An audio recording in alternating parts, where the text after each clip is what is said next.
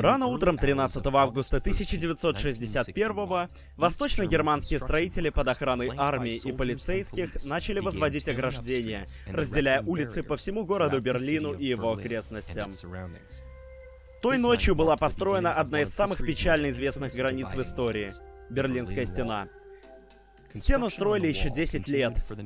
Она шла, разрывая районы, разделяя семьи, деля не только Германию, но и весь мир. Чтобы понять, когда такого дошло, вернемся во времена Второй мировой войны. США, Британия и Франция объединились с Советским Союзом против сил оси. После победы над Третьим Рейхом, каждая из стран-победительниц оккупировала часть Германии. Изначально разделение было временным, но среди бывших союзников появились разногласия в том, как они видели Европу после войны. Если западные страны продвигали либеральную рыночную экономику, то Советский Союз хотел окружить себя покорными коммунистическими странами, включая ослабленную Германию. Пока их отношения ухудшались, Федеративная Республика Германия сформировалась на Западе, а Советы создали Германскую Демократическую Республику на Востоке. Советские страны-марионетки запрещали торговлю с Западом и перемещение между странами. Так появилась непроходимая граница, известная как Железный занавес. В бывшей столице Германии, Берлине, дела обстояли особенно сложно. Хотя город полностью находился на востоке, на территории ГДР, послевоенное соглашение разрешало союзникам отделить часть города.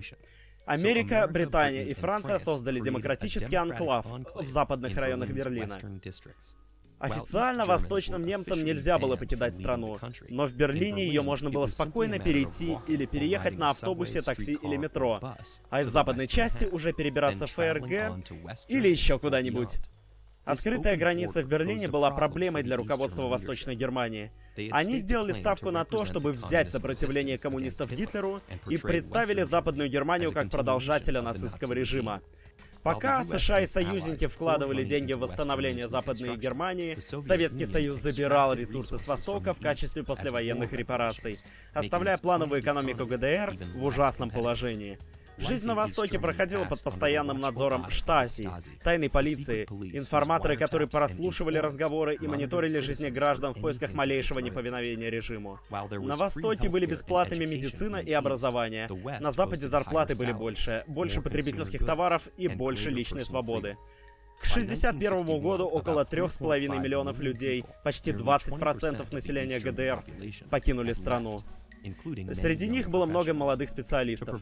Чтобы предотвратить будущие потери, Восточная Германия решила закрыть границы, и так появилась Берлинская стена. Протянувшись на 43 километра в пределах Берлина и еще на 112 по Восточной Германии, сперва ограждение состояло из колючей проволоки и сеточного забора. Некоторые берлинцы бежали, перепрыгивая через проволоку или проходя через окна, но со строительством стены это становилось все тяжелее. 1965 году стена была укреплена 106 километрами бетонных баррикад высотой более чем в 3,5 метра, увенчанными гладкой трубой, чтобы предотвратить перелезание через них. В последующие годы стену укрепляли полосками шипов, сторожевыми собаками и даже минными полями, а также тремя стами двумя сторожевыми башнями и 20 бункерами. Параллельно забору шла 100-метровая полоса, которую прозвали полосой смерти. Все здания на ней были снесены, а земля покрыта песком для того, чтобы обеспечить высокую дальность обзора для сотен охранников, обязанных стрелять на поражение по тем, кто захочет пересечь стену. Тем не менее, примерно 5000 человек смогли сбежать из ГТР между 1961 и 1989. Кто-то был дипломатом или туристом, познавшим за границу, а кто-то простым человеком, вырывшим туннель, проплывшим по каналам, пролетевшим на воздушных шарах или даже укравшим танк и пробившим им стену. А риск был высок. Более 138 человек погибли в попытке сбежать. Кого-то пристреливали прямо на глазах у западных немцев, хотевших им помочь. Стена стабилизировала экономику ГДР, не давая рабочим сбегать, но уничтожила репутацию, став всемирным символом репрессий коммунизма. Как попытка примирения с Востоком, договор об основах отношений Востока и Запада частично признавал Восточную Германию, оставляя ФРГ надежду на воссоединение. Хотя восточный режим разрешал людям навещать свои семьи, он пытался заставить людей не делать этого бюрократической волокитой и высокими пошлинами.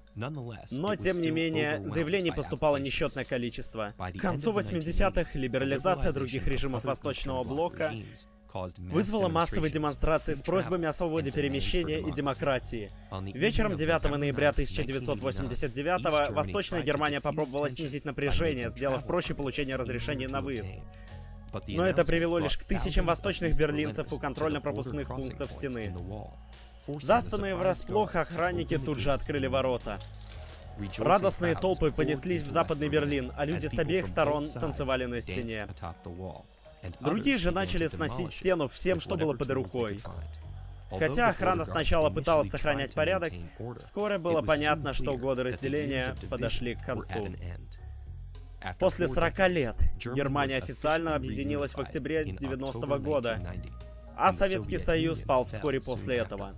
Сегодня части стены еще стоят, как напоминание о том, что любые барьеры, которые мы возводим для ограничения свободы, можно также сломать.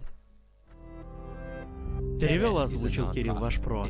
Подписывайтесь на канал, оставляйте комментарии, вступайте в группу ВКонтакте, ссылка на которую в описании. Это очень важно.